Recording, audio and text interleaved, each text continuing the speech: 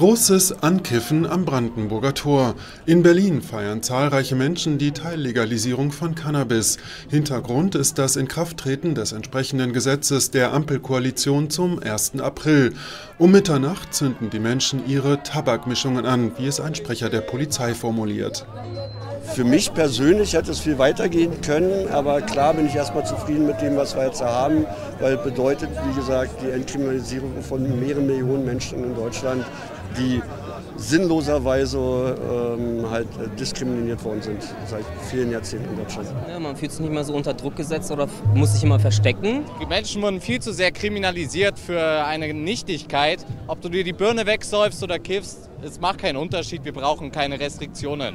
Kritiker warnen vor den gesundheitlichen Folgen der Cannabisfreigabe. Das Bundesgesundheitsministerium verweist darauf, dass Cannabiskonsum gefährlich sei, besonders für Jugendliche und junge Erwachsene. Laut dem nun in Kraft getretenen Gesetz dürfen Volljährige unter Einschränkungen Cannabis mit sich führen und auch selbst anbauen. Verboten ist der Konsum in unmittelbarer Gegenwart von Minderjährigen und in der Nähe von Schulen, Kitas und Sportstätten.